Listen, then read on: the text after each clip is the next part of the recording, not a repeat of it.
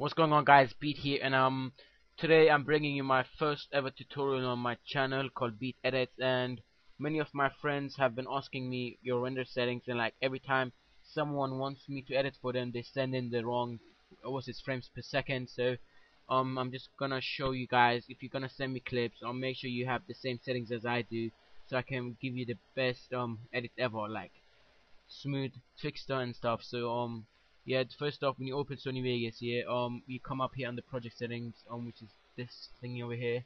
It goes project video properties or you could alt enter and open it. So what you do here um the best one is um you click on HDV 720 30p 1280 by 720 29 frames per second but that's but that doesn't matter.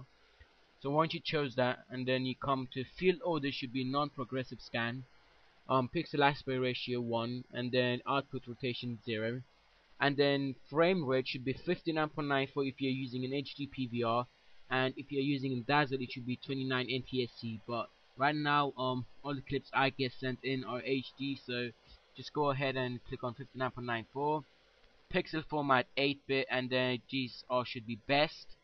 Gaussian and blend fields and then you can just click on start all projects with these settings. So let me teach you some basics of Sony Vegas as well for the people who never knew how to use Sony Vegas and just got into it because um they need like to render the clips.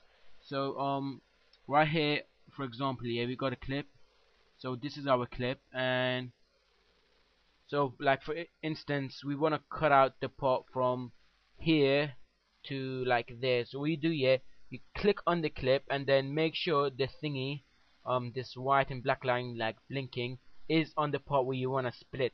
So on your keyboard you press S and then it splits the clip. So you can have so this is the unwanted part or this is the wanted part of yours.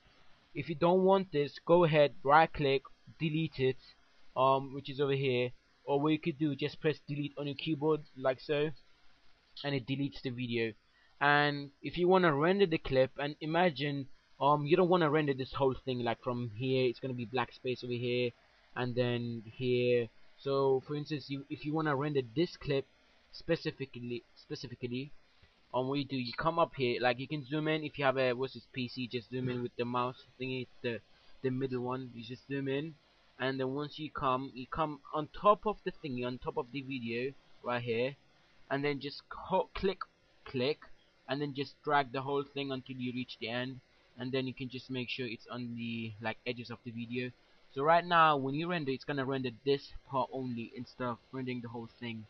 So we do you go to file render as and then I'm gonna show you my render settings. So Windows Media Video V11 yeah and then you go to 6 Mbps HD 720 30p you click on custom.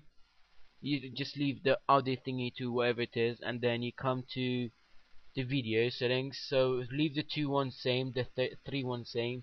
And then the main thing you gotta change here is the frame rate FPS make that 59 and then just drag the sharpness to 100 and then go to video rendering quality and change that to best as well. So that's it.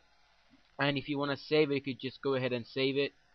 Um I'll just show you how. I've got like my own preset so this is one of my own presets. It's the same as the one I just showed you 59 everything alright project best. So we do just find the place where you want to save it and then make sure um these three boxes are ticked. If you're um what it means by render loop region only is this part over here which you have rendered. As you can see this part. So if, you, if I don't click this it's gonna render the whole thing. But if I want to render this part only you're gonna click on this one. So that's done and then you just click on save I'm not gonna do that because um there's no point on me saving this video right now. Yeah so um guys thanks for watching this video um some basics of Sony tutorial.